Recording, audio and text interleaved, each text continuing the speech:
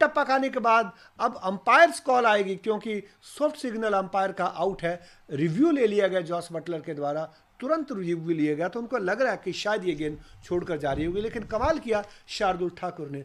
टप्पा खाने के बाद गेंद ऊँची उठी, और सीम का जो इस्तेमाल हुआ, ये बल्ले पर तो नहीं टकराई, लेकिन मिडल और लेग स्टम्प के सामने खड़े हैं तो आउट हो सकता है।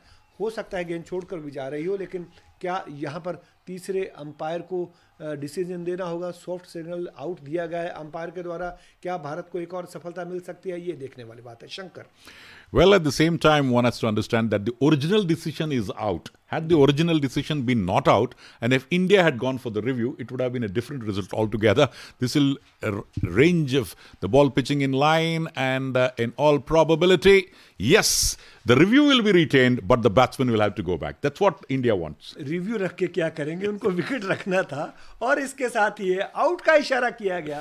अंपायर नितिन मैनन के द्वारा थर्ड अंपायर अनिल चौधरी ने वहाँ से डिसीज़न दिया, ऊपर से थर्ड अंपायर और इस तरीके से जॉस बटलर भी एलबीडब्ल्यू आउट हुए। ठाकुर की गेंद पर चार गेंदों पर केवल दो रन बनाए। यहाँ से 176 पर जब पांचवा विकेट आउट हुआ है, आधा अगर ओवर खेले हैं तो आधी टीम भी आउट होकर वापस जा चुकी है यहाँ से इंग्लैंड की टीम के ऊपर बहुत दबाव और पतन की ओर बढ़ती हुई इंग्लैंड की team And at the same time, if you remember the story of the final T20 match, the openers were in great guns. So this story is also quite similar. The opener gave a flying start even in the final T20 encounter against India.